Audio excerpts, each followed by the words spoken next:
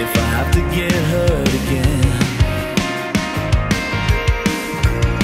And if I see you with another